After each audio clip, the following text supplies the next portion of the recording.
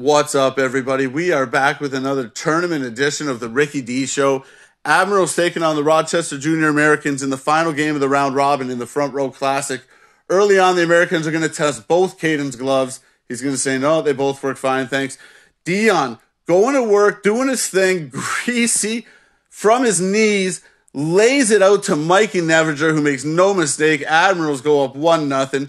Caden's going to go for a pump and skate here.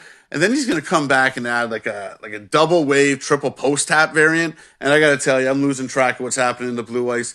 Mikey Nevinger goes for a walk around the defenseman and finishes at Snipe City. Americans get a break here, but Caden with the nice poke check. Parker says it's not how you break away. He shot that puck so hard the net apologized to him. Later on on the power play, Luke Lloyd shoots it directly through the goalie. Goody tries to take credit. Of course he does. Uh, later on, Rochester trying to get on the board, but Caden sweet legs lacking it, shutting the door. Take a look at this. Mac with a beauty pass to the Lestraka goes five hole, but this kid is the most heartbroken kid I've ever seen after giving up a goal. Just devastated. Rochester tips one in here and nobody cared. Goody scored again on the power play, but apparently nobody cared.